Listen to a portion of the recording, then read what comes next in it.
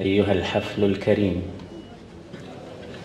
الحمد لله وكفى والصلاة والسلام على النبي المصطفى سيدنا محمد صلى الله عليه وسلم وعلى آله وصحابته الشرفاء.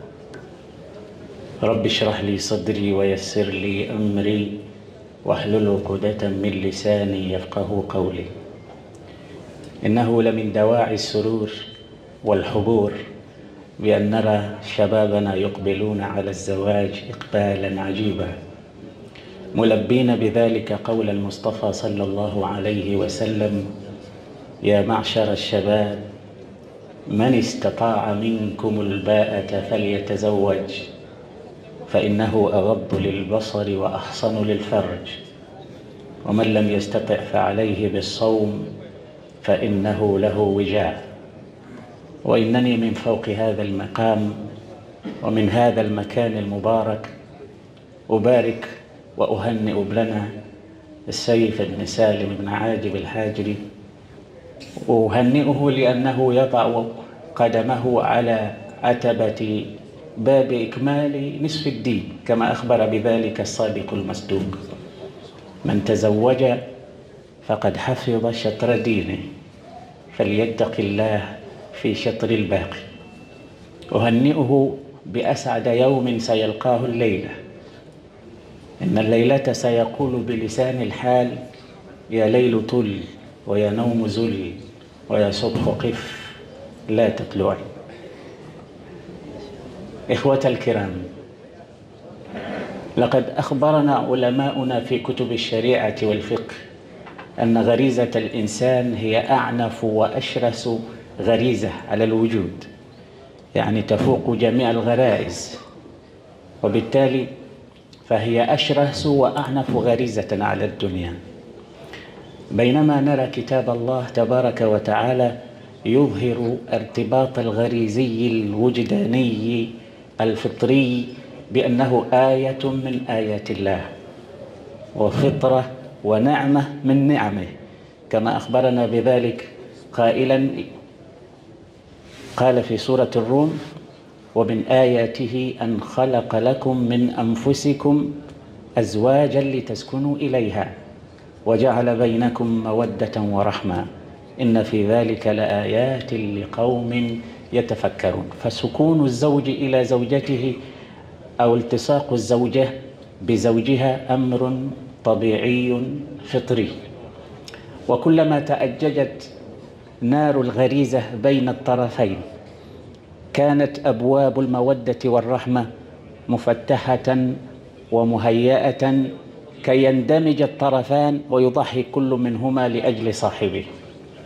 إخواني إذا أمعنا النظر في كتاب الله تبارك وتعالى وجدنا أن الله تبارك وتعالى يحرك شعور الرجل نحو المرأة إلى حد أقصى.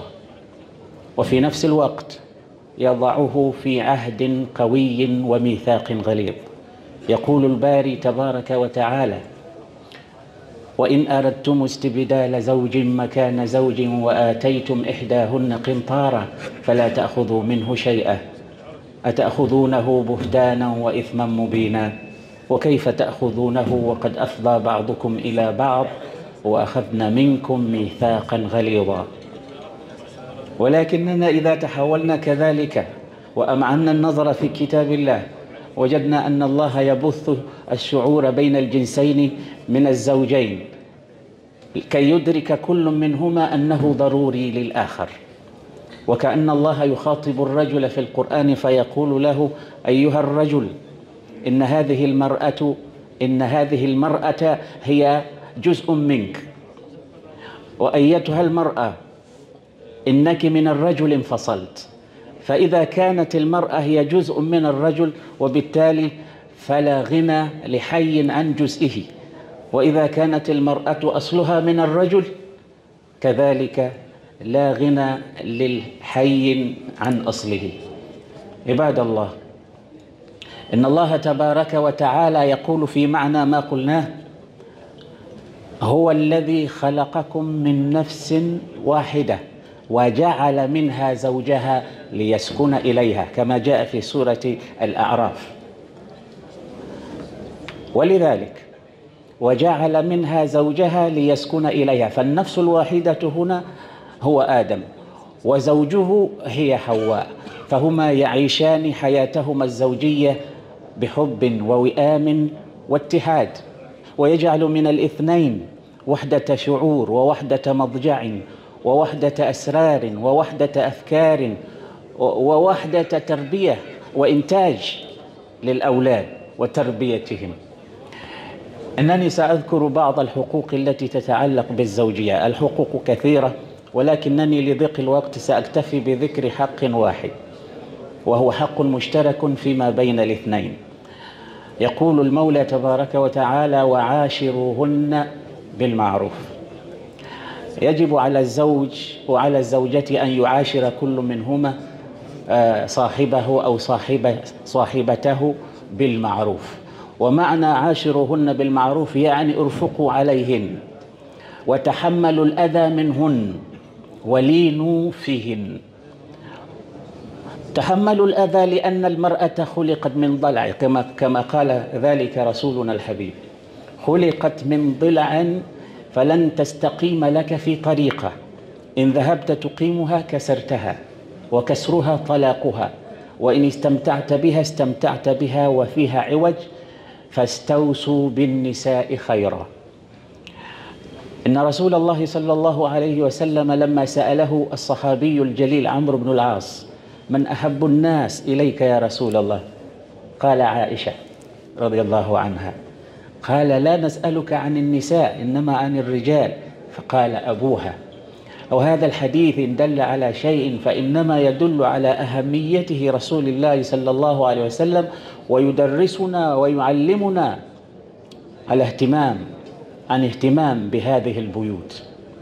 قيل لأحد الصالحين هل تحب زوجتك? فقال نعم. قالوا له كم تحبها؟ قال قلبها قلبي وقلبي قلبها. روحها روحي وروحي روحها وأنا وهي روح وقلب واحد حسبها حسبي وحسبي حسبها.